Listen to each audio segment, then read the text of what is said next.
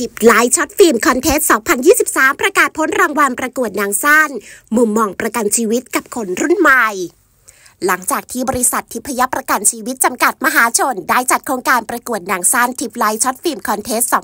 2023 ภายใต้แนวคิด TIPlife Life Partner Life Better เพื่อให้นักศึกษาคนรุ่นใหม่มีเวทีได้คิด และทำในสิ่งสร้างสรรค์มีประโยชน์เพื่อสังคม ผ่านการประกวดหนังสั้น ภายใต้หัวข้อ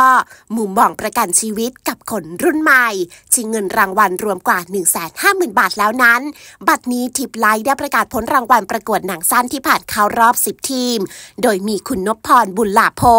ประธานเจ้าหน้าที่บริหารบริษัททิพยประกันชีวิตจำกัดมหาชน ให้เกียรติเป็นประธาน ประกาศผลรางวัลการประกวดหนังสั้น TIPlife Short Film Contest 2023 หัวข้อ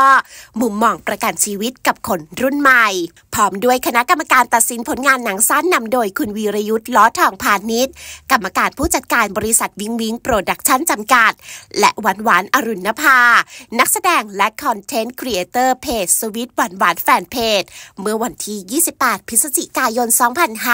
2566 ณ โรงภาพยนตร์ SFX Cinema เซ็นทรัลพระราม 9 ค่ะ โดยที่ผ่านมาโครงการประกวดหนังสั้น TIPlife Short Film Contest 2023 ของบริษัททิพยประกันชีวิต ได้เปิดโอกาสให้นักศึกษาระดับอุดมศึกษา ที่ไม่จำกัดชั้นปี ไม่จำกัดคณะ อยู่ต่างสถาบันได้ ไม่จำกัดจำนวนสมาชิกต่อทีม ส่งผลงานได้ไม่เกินหนึ่งเรื่องต่อทีม และมีเนื้อหาในหัวข้อ มุมมองประกันชีวิตกับคนรุ่นใหม่ มีคำว่า Life Partner Life Better และเป็นผลงานที่สร้างสรรค์ขึ้นใหม่ด้วยตนเองมิได้ทำซ้ำ ขัดลอก เลียนแบบ หรือดัดแปลงของผู้อื่น อันเป็นการละเมิดลิขสิทธิ์ ไม่เคยส่งเข้าประกวดที่ใดมาก่อน ไม่เคยได้รับการเผยแพร่ในสื่อทุกประเภท และสื่อสังคมออนไลน์ต่างๆ โดยทีมที่ผ่านเข้ารอบทั้ง 10 ทีม จะได้รับกรมธรรม์ประกันคุ้มครองอุบัติเหตุเป็นเวลา 1 ปี ทั้งนี้ทีมที่เข้ารอบทั้ง 10 ทีมนี้ ได้มีโอกาสได้เวิร์กช็อปกับผู้บริหารและพี่อูวิงวิงเป็นเวลา 1-2 ชั่วโมงเพื่อต่อยอดการทำวิดีโอหนังสั้นที่มีประสิทธิภาพ และเรายังมีรางวัลพิเศษ คือรางวัล Popular Vote หนึ่งรางวัล มูลค่า 30,000 บาทค่ะ สิ่งที่ได้จากการจัดงานนะฮะหนังสั้นนะฮะคิดว่าเป็น Big Data เลยนะฮะท่านอ่าอ่ทุกคนที่เกี่ยวข้องนะฮะวันนี้นะเรารู้ว่าเด็กรุ่นใหม่เนี่ยเขามีความคิดเรื่องประกันอย่างไร มีความเข้าใจอย่างไรนะฮะผมคิดว่าวันนี้คุ้มค่าแล้วก็ถือว่าได้ประโยชน์ถึงขั้นสูงสุดเลยฮะเพราะข้อมูลปัจจุบันเนี่ยการมีข้อมูลของลูกค้าหรือว่าเป้าหมายหรือผู้มุ่งหวังเนี่ยเป็นชัยชนะของธุรกิจเลยนะฮะเราจะสามารถทำข้อมูล research รองรับว่า segment นี้เราจะออกแบบ product ยังไงนะฮะ segment นี้เราจะเลือกขายอะไรให้กับกลุ่มคนพวกนี้ ไม่ว่าจะเป็นเด็กมหาวิทยาลัยนะฮะอายุตั้งแต่ 21 ถึง 25 เราควรจะสร้าง product แบบไหน เพื่อเป็นการตอบสนองกับลูกค้าวันนี้ รวมทั้งแม้กระทั่งช่องทางการขายนะฮะเห็นไหมฮะในหนังเนี่ยใช้มือถือทุกคนเลย เป็นอวัยวะ 33 ไปแล้วนะฮะเห็นเด็กที่ไหนเห็นมือถือที่นั่นเนี่ยที่นั้น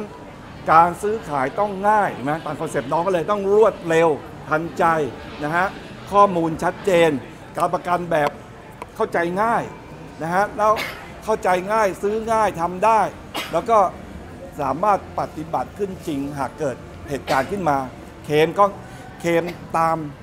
โปรดักได้ง่าย ๆ เลย ไม่ซับซ้อนไม่ยุ่งยากฉะนั้นทิปไลท์เนี่ยคิดว่าเรามาถูกทางแล้วเกี่ยวกับการทำโครงการหนังสั้นให้กับเด็กๆ ของมหาวิทยาลัยต่าง ๆ ทั่วประเทศนะฮะเป็นเรื่องที่ดีในสำหรับตัวความคิดของผมนะฮะถามเนี่ยเมื่อยถามมาดิถามมาดิในมุมการตลาด ในมุมการตลาดนะเมื่อกี้ก็ตอบไปบางส่วนแล้วว่า การที่จะออก product สุ่มไปเนี่ยคิดว่ามันอาจจะไม่ได้ได้ประโยชน์ หรือว่าความคุ้มค่า ตอนนี้เราเลือก segment ว่า gen เนี้ยการออก product ต้องเข้าใจว่าเขาต้องการแบบไหนนะฮะในเบื้องต้นการอธิบายแล้วว่าต้องเข้าใจง่ายทำง่ายรวดเร็ว ง่ายต่อการเคมนะฮะและสามารถให้เขาไปพูดต่อได้ว่าเออ product แบบเนี้ย สามารถซื้อให้ตัวเองให้เพื่อนให้ครอบครัวให้พ่อแม่ได้ ผมคิดว่าโลกปัจจุบันดิจิตอลมาแรงครับผมผมจึงจะต้องพัฒนาเรื่องของเออระบบที่เกี่ยวกับบริษัทเนี่ยคอมพิวเตอร์ให้สามารถที่จะรองรับความทันสมัยของโทรศัพท์ของของเออเกี่ยวกับโทรศัพท์ iPhone หรือว่าเอ่อเอ่อเทคโนโลยีเทคโนโลยีเอ่อของโทรศัพท์ในปัจจุบันเนี่ยให้มันตอบสนองกันนะฮะ ดูทีวี ดูบนโทรศัพท์ได้ ซื้อประกันดูซื้อที่บนโทรศัพท์ได้ รวมทั้งการเคลมสินใหม่ ก็สามารถเคลมผ่านช่องทางโทรศัพท์ได้ โดยเราที่แปลชีวิตเนี่ยมีแอปพลิเคชัน พร้อมทุกตัวทุกระบบนะครับ แล้วต่ไอการรางวัลชนะเลิศตรงนี้ที่เนี่ยได้รับรางวัลชนะเลิศตรงนี้ท่านภูมิใจ จุดไหนแล้วก็ที่มันตรงประเด็นเป๊ะอ่า เรื่องรางวัลชนะเลิศเนี่ยผมถือว่าเป็นการตอบแทนความคิดความสร้างสรรค์ของเขานะฮะคือคือผมเนี่ยเรื่องเมื่อกี้ทางทีมงานบอกแล้วว่า การถ่ายทำระบบเสียงระบบภาพ อันนั้นคือส่วนหนึ่งนะ แต่ในส่วนของผมเนี่ยผมจะดูว่าน้องๆเขาเข้าใจเรื่องประกันชีวิตแบบไหนมากกว่านะฮะในการในการถ่ายทำรอบแรกเนี่ยเราก็ปล่อยอิสระไปเลย พอรอบสองปุ๊บคุณสุประชัยเนี่ยก็จะให้มุมมองเกี่ยวกับการประกันชีวิตนะฮะถ้าเขาสามารถตีโจทย์แตกได้เนี่ยเราก็จะให้รางวัลก็คือรางวัลที่หนึ่งที่เรามอบให้กับน่าจะเป็นทีมมอชอเชียงใหม่นะฮะได้รางวัลที่หนึ่งเกี่ยวกับว่าการใช้ชีวิตที่ประมาทนะฮะหรือว่าการไม่ให้ความสำคัญกับการประกันชีวิตเนี่ยมันส่งผลกับเขานะฮะในในในในที่เขาประสบอยู่ พอมีประกันชีวิตปุ๊บเนี่ย มันก็สามารถจากหนักเป็นเบา ทุกคนเกิดมาต้องเจ็บป่วย ทุกคนเกิดมาต้องตายนะฮะแต่การตายของคนที่มีความสำคัญต่อครอบครัวเนี่ยหรือว่าตัวเราเองเนี่ยมันจะไม่เป็นภาระ หรือว่าสามารถให้ครอบครอบครัวอยู่ต่อไปได้ ผมตีจทย์แบบนี้นะวันที่หนึ่งห้าหมื่นบาทครับ อีกรางวัลหนึ่งที่ผมได้ชี้แจงไปทั้งเลยว่า Popular Vote นะครับเมื่อกี้ได้บอกไปแล้วว่า ช่องทางดิจิตอลเนี่ยมันมาแรงนะฮะ ผมก็อยากจะถ่ายทอดเรื่องพวกนี้ให้กับประชาชนทั่วประเทศไทยเลยนะฮะว่าที่ประยับกันชีวิตเนี่ยได้สร้างสรรค์ผลงานแบบนี้นะก็เลยเพิ่มรางวัล Popular Vote เอ่อโหวตเนี่ยให้กับผู้ที่ได้ได้รับโหวตสูงสุดนะฮะให้รางวัลเท่ากับวันที่หนึ่งในห้าหมื่นบาท เพราะอยากจะให้มันแพร่หลายนะฮะไม่มากก็น้อยประชาชนคนไทย 70 ล้านคนเนี่ยดูทักแสนคน5แสนคนเนี่ย ก็จะเห็นโลโก้ทิพยประกันชีวิตนะฮะเป็นการลงทุนที่คุ้มค่ามากเลย ไปซื้อเวลาพวกคุณเนี่ยแป๊บเดียวก็หลายหมื่นนะที่ห้าหมื่นบาททั้งประเทศนะฮะผมคิดว่าผมมาถูกทางแล้วนะครับนะฮะstep ต่อไปนะฮะที่เราวางเอาไว้นะฮะวันนี้เราทำเรื่องว่าเขาเข้าใจธุรกิจประกันชีวิตยังไงนะฮะ step ต่อไปนะฮะจะเชิญชวนน้องๆนะฮะ อาจจะเป็นกลุ่มนี้ก็ได้ หรือกลุ่มใหม่ก็ได้ หรือคนที่ดูภาพดูหนังสั้นทั้งหลายก็ได้ จะเชิญชวนมาเป็นส่วนหนึ่งของทิพยประกันชีวิต step ต่อไปนะฮะเมื่อคุณเข้าใจนะฮะเรื่องประกันชีวิตว่ามันคืออะไร ไม่ใช่แมลงสาบ ไม่ใช่กิ้งกือ มันคือ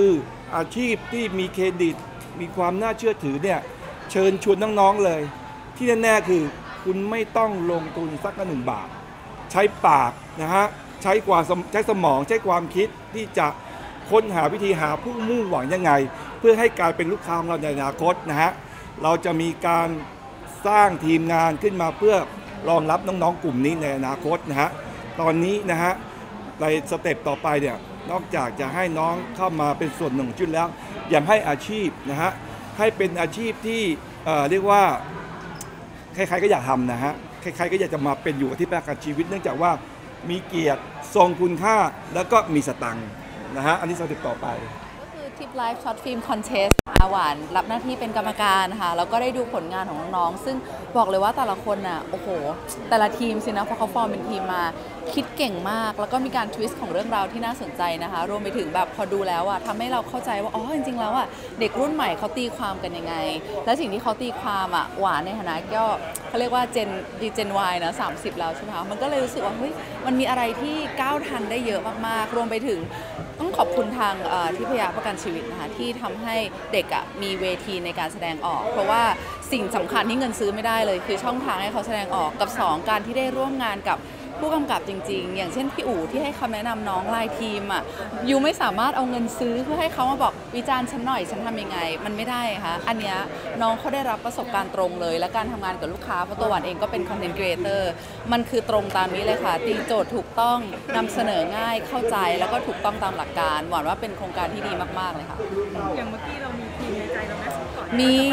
ใช่เป็น top three ค่ะ ก็ดีใจค่ะ เพราะว่าพอดูปุ๊บเนี่ยหวานว่าทีมในใจอะมันเกิดขึ้นจากการที่พอเราดูปุ๊บเรา get เร็ว เราจำได้ และนำเสนอออกมาได้ไม่เหมือนแบบเหมือนยัดเยียด เพราะบางครั้งเนี่ยการที่เราจะนำเสนอสิ่งที่มันดูซับซ้อนเนาะพอพูดถึงประกันบางคนบอกโอ๊ยไม่อยากอ่านกระดาษหลายหน้า แต่พอเอามาย่อยแล้วนำเสนอแบบสนุกตลก ง่ายเข้าใจง่ายเนี่ยมันมันกลายเป็นทีมในใจใช่ก็ต้องแสดงความยินดีกับน้องๆเชียงใหม่ก็เชียร์เชียงใหม่เจ้าเก่งมากเรามีแนะนำเทคนิคอะไรแบบนี้บ้างไหมในฐานะเราก็เป็นนักแสดงค่ะค่ะแนะนำใช่ไหมคะหวั่นว่าสำคัญสุดเลยอะจริงๆก็เป็นสิ่งที่พี่อู๋พูดเหมือนกัน คือการที่รับโจทย์และตีโจทย์ลูกค้าให้ถูกต้อง หวั่นว่าอันเนี้ยมันเป็นมันเป็นการใส่ใจรายละเอียดอะค่ะ เพราะว่าอย่างตัวหวันเองเนี่ย หวานมองว่าเรารับโจทย์อะไรมาปุ๊บอะเราก็ต้องอ่านให้เข้าใจจริง ๆ เพราะว่าถ้าเราไม่เข้าใจ product นั้นจริงๆเนี่ยพอเราตีความและแสดงออกมาปุ๊บกลายเป็นแบบ ทุกอย่างดีหมดเลย แต่อ้าวเนื้อหาผิดอะไรผิดอย่างเงี้ยค่ะ อันเนี้ยมันเป็นเรื่องน่าเสียดาย ก็อยากจะฝากเด็กรุ่นใหม่น้องรุ่นใหม่ไว้นะ ความคิดสร้างสรรค์ความสามารถในการถ่ายทำเนี่ยเยี่ยมมากเรื่องความละเอียดใส่ใจในเนื้อหาของ product อันเนี้ยก็จะฝากไว้